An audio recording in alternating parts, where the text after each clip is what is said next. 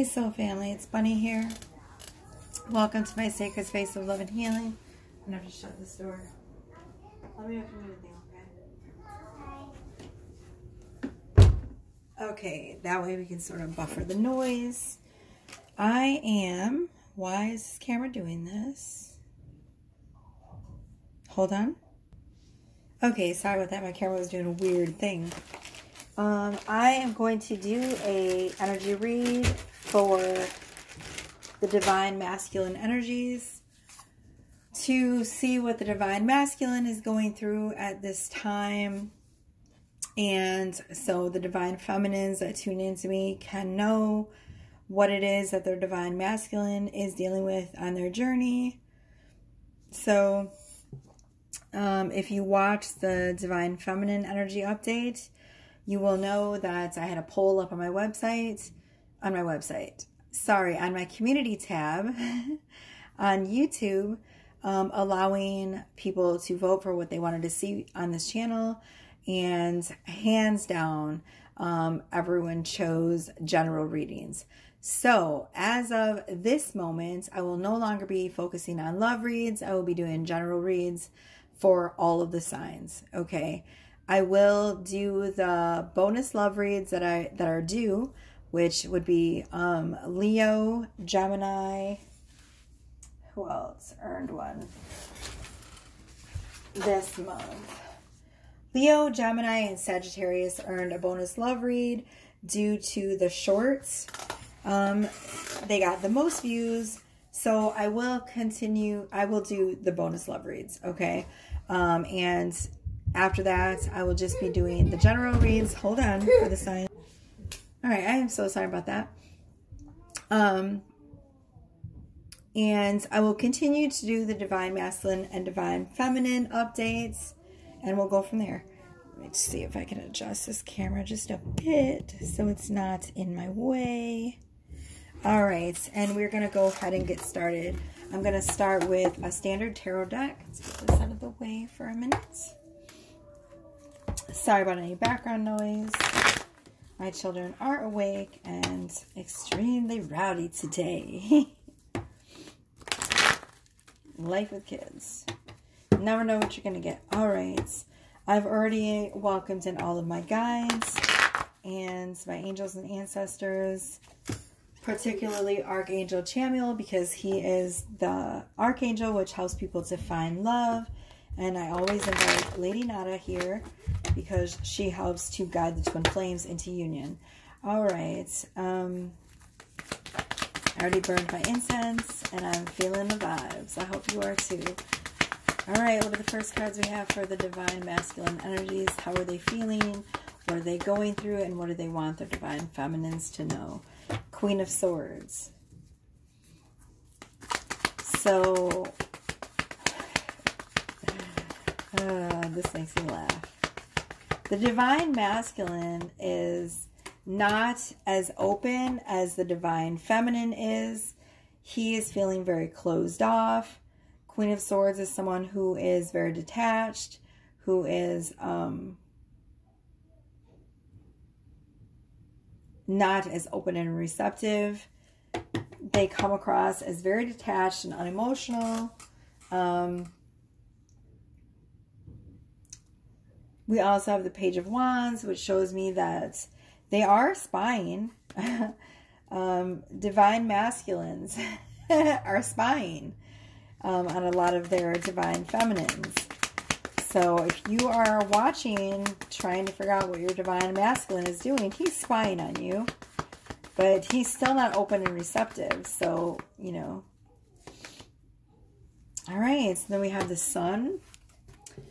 So there's the proof. There's the Queen of Swords.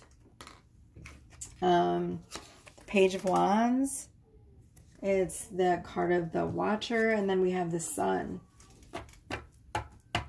They are feeling the passion. It's funny on the on the Page of Wands card, if you hear a squeak, that's my chair. On the Page of Wands card, if you see there's like some kind of plant down here, which looks like a chili pepper.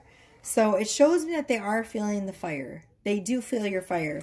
They're feeling the temptation.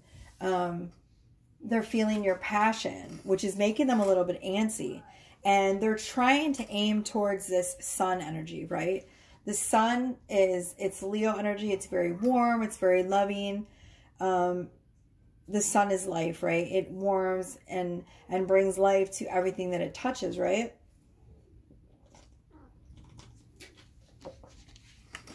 So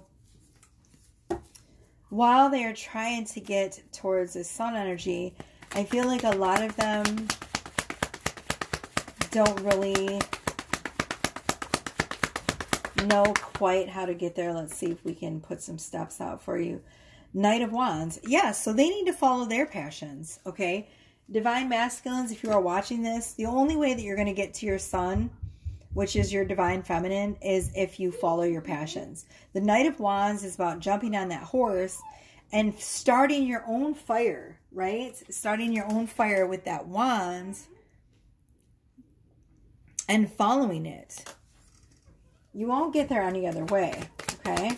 There's no easy way to to get on her level, you know, like not to say that you guys are on different levels, you know, I'm talking spiritual wise, like, you know, to in order to achieve the sun, some work has to be done. London, you're being too loud, buddy. So, some adjustments need to be made. Let's get one more card from this deck and we'll move on. I'm sorry, they are one for sound today. Yeah, see, the a lot of the divine masculines are going into hermit mode, which which is normal. The divine feminines have been in a sort of hermit state too, um, trying to find themselves, trying to find enlightenment, trying to wait for divine timing, you know, going within. The divine masculine is really, really in hermit mode though. One second. One more card from this deck, please. Three of Pentacles. Wow. So Divine Masculine and Divine Feminine are kind of in the same sort of energy. The Divine Feminine is working really hard with other healers and possibly forming friendships with people that are of value to her soul, right? She's finding her soul family. She's doing collaborative efforts for her spiritual journey and for herself. And the divine masculine is also in this energy. The divine feminine got the three of pentacles as well. So divine masculine is, you know, reaching out to healers, his soul family. He's doing things which are going to enrich his soul because he knows that that is what, it, what is going to get him closer to his divine feminine, right? And closer to the calling of his soul.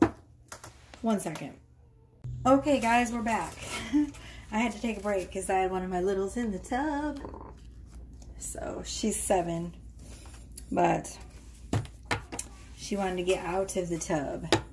And good thing my room, my workroom is literally right next to that bathroom. so that's why you could hear all the noise because I had the door open because I was listening for her um, for when she's ready to get out and stuff. But all right, always on mom duty. All right, um, where were we? Let's. I'm gonna go to a different deck.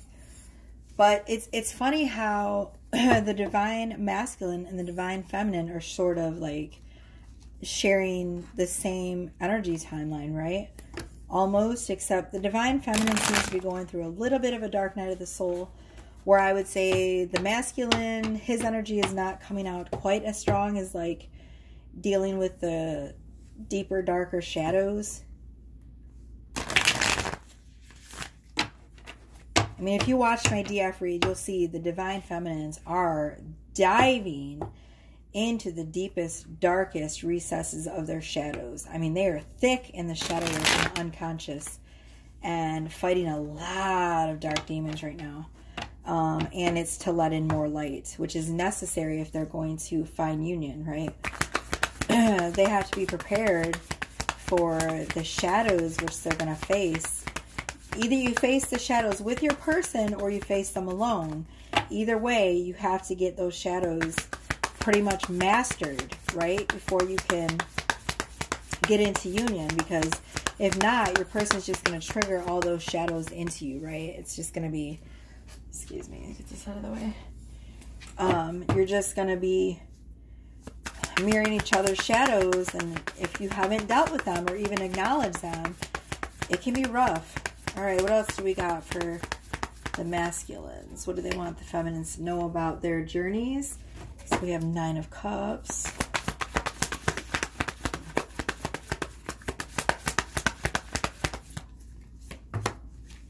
Wow, the lovers. Whew.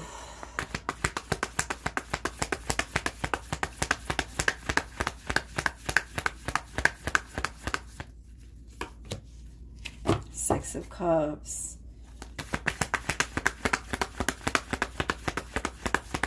Wow, can I just say the masculines are really in their fields right now. Can I just say that?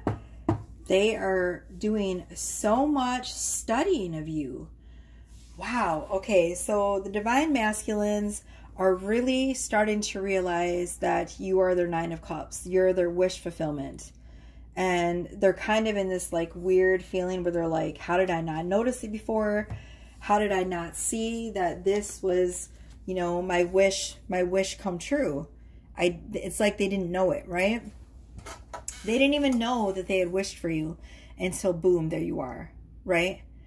And there's, they're feeling really nostalgic. They're really missing the soul connection right now. They're really, really in their feels. I mean, we got the lovers, you know, crossed by the six of cups and the nine of cups so this the cups are all about feelings. The divine masculines are really feeling the disconnect from you. They're feeling like they really um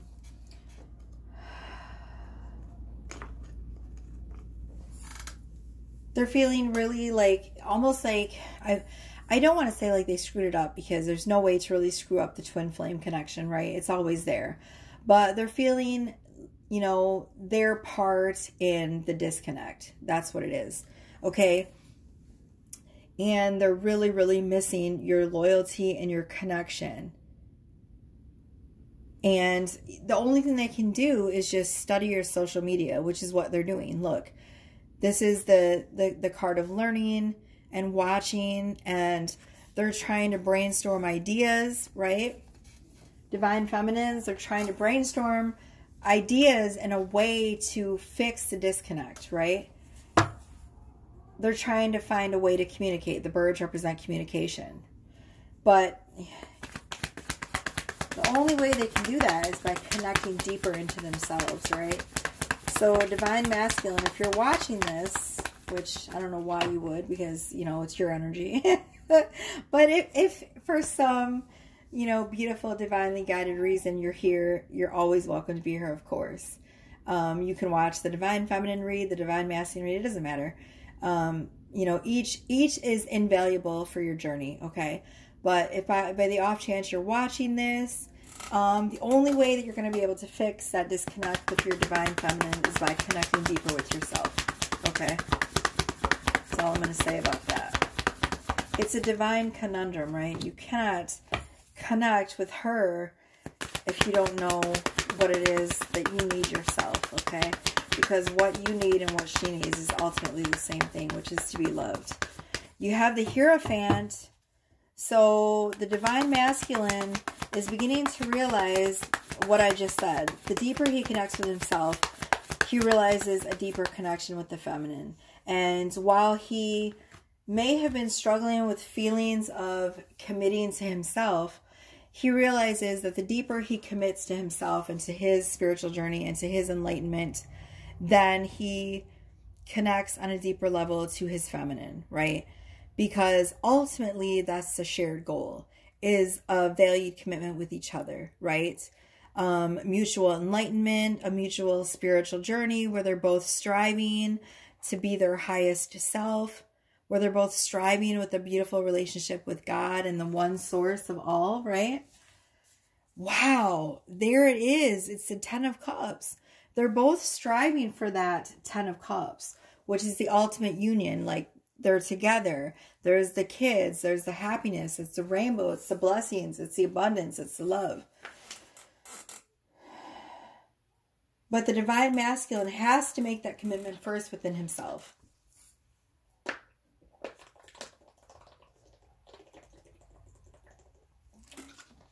Sorry, that's me drinking water. And ultimately, to get there, he has to become the Hierophant. He has to dedicate and commit first to himself, to his spiritual journey, to his enlightenment, in order to get here, right? The wish fulfillment, this beautiful connection of two souls. Look at that. sitting there spying and watching is not going to help him. we love you, but sitting there spying and watching on your feminines is not going to get you where you need to be. You need to be focused on yourself, okay? Divine masculines. And, you know, us feminines are very, we're tongue in cheek. We're just kind of, of course, we delight on, you know, when you are watching us. But at the same time, we know that that's not going to get you anywhere. it's not going to get you back into our energy fields, that's for sure. All right. Um, let's do three cards from here, and then we'll do a animal, spirit. We'll pull a major arcana card for the major journey for the divine masculine.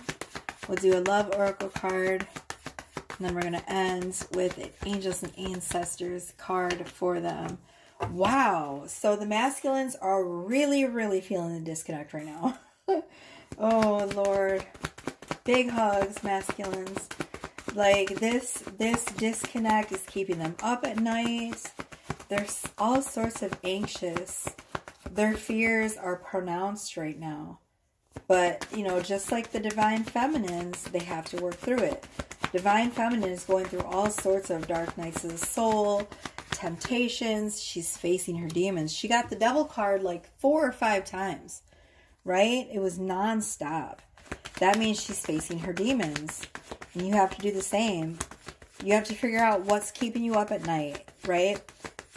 So the divine masculines are definitely feeling a lot of anxiety. And again, look at this, feminines we have the divine masculine in his fields, up at night, can't figure out what's the next step. He needs to connect with his guides. Look, and we have the Nine of Cups again. They're finally beginning to wake up to the idea of this connection. They're beginning to realize that they may have missed the boats. They may have missed, you know, the the divine stirring of their soul and this connection. So initially, it feels like when it came in, they might have not recognized it for what it was, which was a divine connection. They just thought it was some run of the mill type of maybe friendship or, you know, just a standard connection. And they, they're realizing now the depth of the feelings that are there because spirit just keeps bringing them back to you. Look at that. They've found something that they didn't think they were going to be able to find to find. It's the Holy Grail. Look, you see how this page is staring at this this coin with wonder and bewilderment? It's like, wow, this is not the normal average run of the mill coin, right? And again, there's the energy of watching. He's watching the coin with on with bleh, I can't talk. Mercury retrograde needs Mercury retrograde needs to fuck off. I'm already ready for it to be done. this this year I'm gonna bless Mercury retrograde. It's not gonna fuck with me. So we're gonna send Mercury retrograde some love right now. But so you know, he's watching and staring at this coin, which is the divine feminine with wonder and awe and going, wow. Um I may have underestimated this one. Right? Indeed, you did. Indeed, you did. All right, let's get this deck out. I'm sorry, I'm so unprepared today. I should have, normally I always have all my decks out, and just today I'm just, I know, didn't have everything. Okay, let's do an animal spirit card.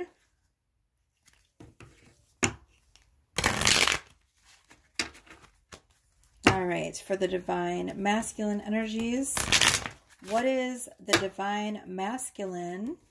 What is their animal spirit totem right now? Okay.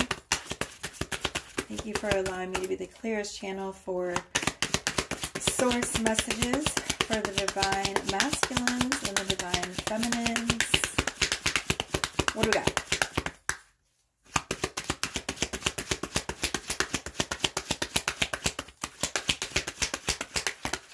Every day I'm shuffling swan. Wow, transformation. Transformation, loss of innocence, beauty. This painting of a swan maiden represents a common motif found in the mythologies and the folk tales of many cultures around the globe, from Native American to Slavic. Although the story varies from place to place, the basic plot is the same. A young man finds the feathered robe or skin of a swan maiden, a goddess like creature, which she has temporarily shed to assume a human form. Although the youth attempts to hide the feathers from the maiden, which allows him to possess her, the swan finds its feathers, assumes its animal form, and leaves the youth. The lost swan thus symbolizes the departure of youthful innocence and the passage to maturity. In some versions of the story, the swan dies. In Greek mythology, the swan song is a beautiful song sung by the swan just before her death. So, the divine masculine right now is going through a rite of passage. He needs to realize, right, divine feminines, that in order to possess his swan, he cannot fake or hide or manipulate her in any way. He has to come with his authentic, real swan self. Okay, so it's about um it's it's it's a sweet conundrum, right? Because he has to realize first and foremost he can never truly possess her, right? She's always going to be free. Now she can come to him of her own free will if he decides to make the right steps in order to get to their union, right? But he can't do that by manipulating her or by taking things from her, right? He has to come and offer so that she can receive. That is the nature of the woman is to receive, right? And so by taking things from her that belongs to her or attempting to hide or to show a self or side of himself that is not authentic, then the swan is going to leave. Right? She's going to feel this sense of wanting to get back to herself, which is the swan. And she's going to leave, right? And he needs to come into his emperor energy in order to, you know, to approach her properly. He has to set aside all childish things. Right? While still remaining a child at heart, of course. All right, let's go ahead and see what the major lesson here is that the Divine Masculine is going through by pulling a Lisa Frank card. This is a deck that I have created, and it's all major arcana. So therefore, it lets us know the major lesson that the divine masculine right now is dealing with.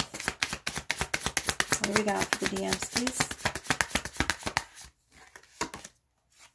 Wow, we have a tower moment. Look at that.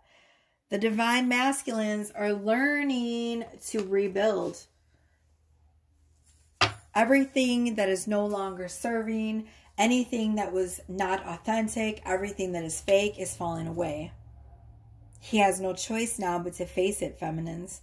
Everything that he has tried to create under a false pretense for his life, the false success, the false sense of security, um, what whether that is his nine to five, whether that is you know his security with his with his um, family members and who he is at the core of his being, right? This mask that he has been wearing, all of that is crumbling. And he's beginning to realize the only way back to himself is by being authentic. by following his soul. That's the only way he can rebuild. It's a rough lesson. It's almost like the dark night of the soul that the divine feminine is going through. But look, at the end of the journey, look at how sweet the ice cream is. He's got to have faith. He's got to have faith. It's like that George Michael song. You gotta have faith, faith, faith, ah. baby. oh shoot! All right, let's see what else we got. Let's do a love oracle card mm. For the masculines, and then we're gonna end with a angels and ancestors card for them. All right, let's see what else is gonna come out for them.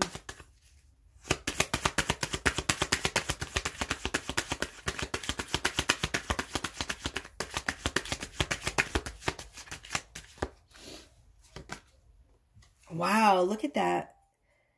So he is seeing the signs and synchronicities. There's 222 again. I was watching a video by this beautiful, talented reader.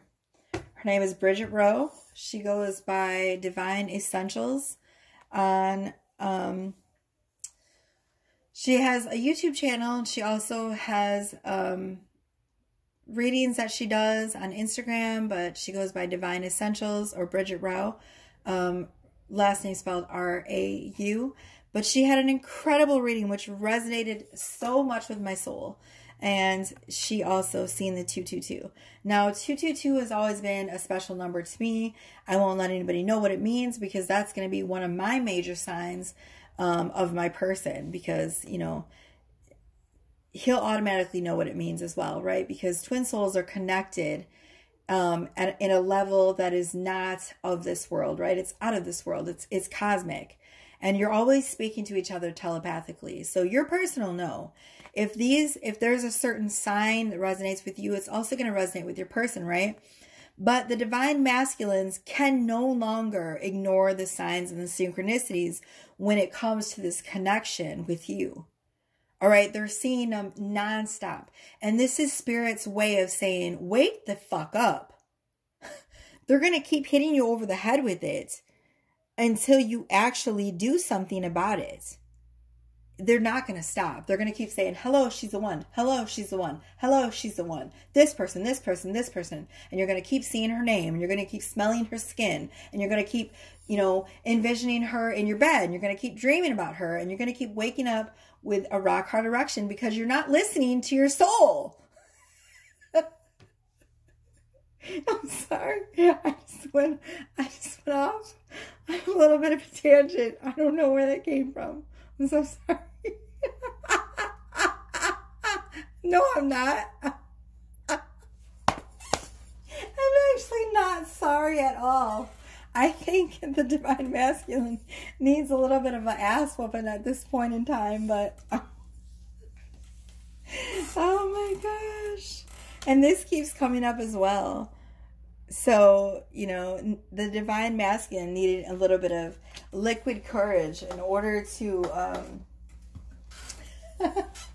make his move towards this beautiful empress who is his divine feminine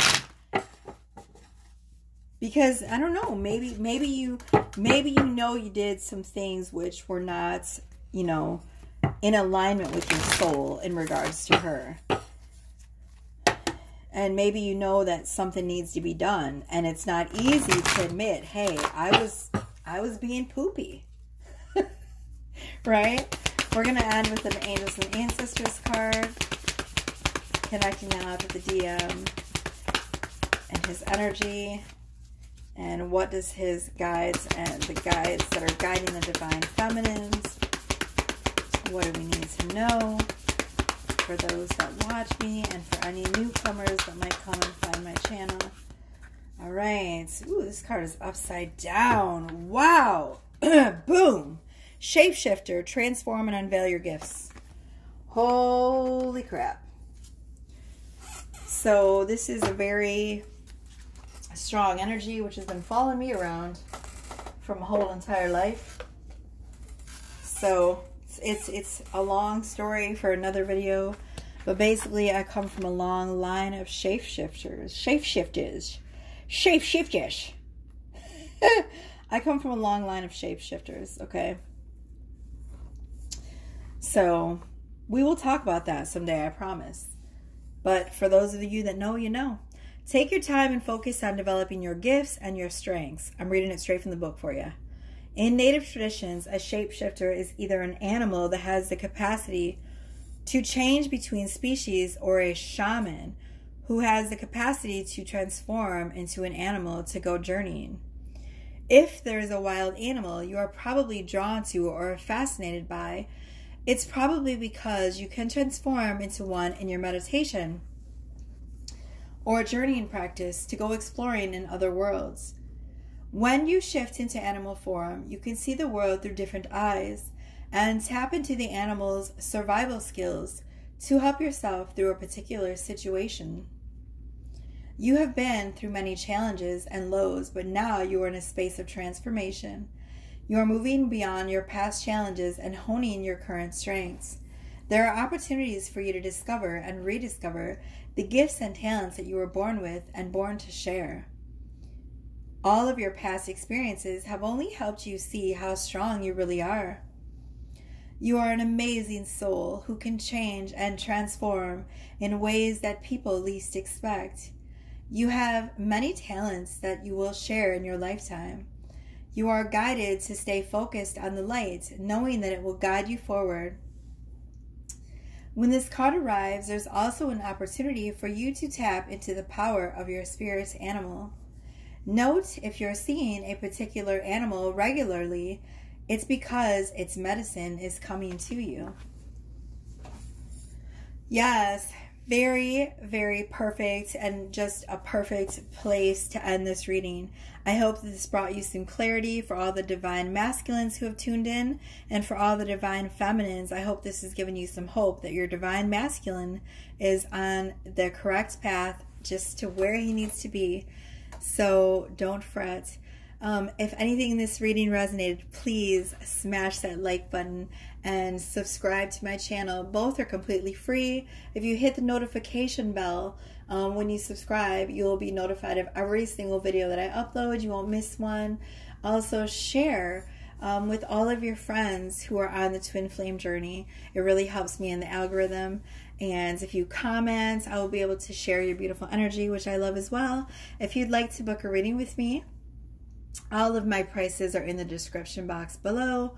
For those of you that have already booked readings, thank you. I will be working on them um, in this crazy holiday season. So I appreciate your love and your patience.